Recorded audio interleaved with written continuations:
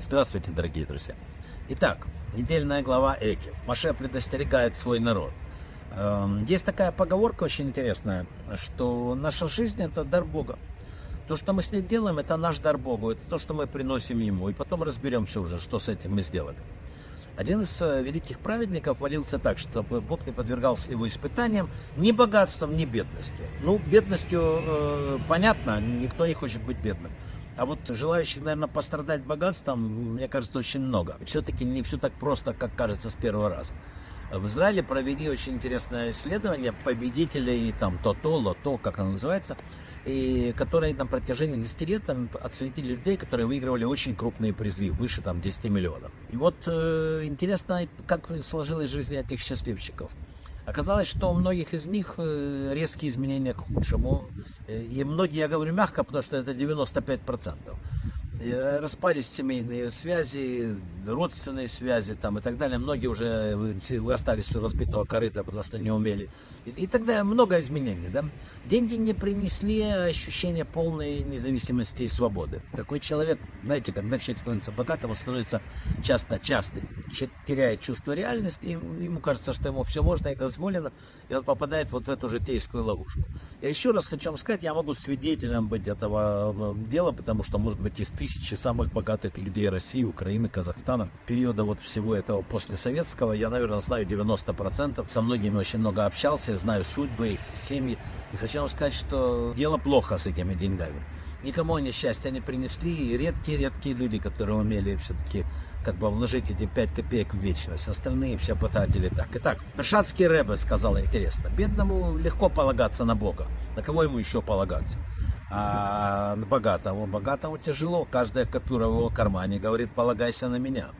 Поэтому на уровне народа здесь несколько было другое, и поэтому Маше то же самое говорил им. Опасения Маше такие же. Что он говорит? Он э, предупреждает, что вы идете в землю Израиля. Казалось бы, ты стремился, мы все стремились. Нет, он говорит, именно связано опасение с землей Израиля. Почему? Какие опасения? Он говорил, вы начинаете приходить, но вам надо сеять, пахать Э, убирать. То есть у вас начинается период материального. Вот в этот период очень легко забыть Бога, подумать, что ты посмотри, какой я небоскреб построил, смотри, какой я молодец, у меня урожай какой, какая у меня армия великая, какой я, какой я, и пошло, пошло, поехало тысячи, тысячи, какую я можно придумать, чтобы забыть Бога. Поэтому Маше, который понимал, э, что происходит, понимал суть э, людской психологии, он говорит, что «отпусти народ мой» это только отдельная фраза. Ее не существует без фразы для того, чтобы он служил мне.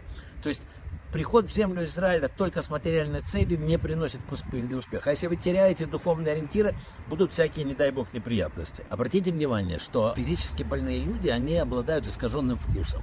Горькое иногда представляется сладким, сладкое горьким. Написано в Кабале, что точно так же люди с э, больной душой. Кажется, все хорошо, так все замечательно, все цветет, все. Они считают, что вот это замечательно, там гей-парады там, где-нибудь там в Иерусалиме. Ну что, это толерантность. Это люди с абсолютно больной душой. Я даже не скажу, какой болезни это соответствует в физическом мире. Написано, что надо стараться, давайте так, думать о трех вещах. Да? Подведем итог Маше. Маше все-таки сказал нам важную вещь. Берегитесь, не забывайте Бога и не нарушайте его уставов. Он знал, что пришли для духовной миссии. И чтобы энергию направляли не только в зарабатывание, не только в достижение материального. И тогда все будет хорошо и все будет замечательно. В противном случае могут быть проблемы. И вот э, в конце говорится, что надо помнить о трех вещах главных в этой жизни. Знай своего Творца, первое, что надо. Второе, знать самого себя, понимая свою силу, слабости, свои таланты и свои недостатки. И третье, не забывай там о том, какого именно служения хочет от тебя Бог а что он от тебя хочет? Чтобы ты использовал те материальные ресурсы мира, которые в данном случае находятся в твоих возможностях, да, и способствовал тому, чтобы этот мир развивался по воле Творца. Очень все просто. Если у тебя есть возможность это делать на один час или на одну минуту, или на пять э, шекелей, на пять миллионов, это имеет значение для Бога. Ты сделай что-нибудь. Потрать пять минут своего времени или пять копеек своей. Все это вместе ляжет большую копилку чего? построенного храма, который вот-вот придет. Бракавы от слаха.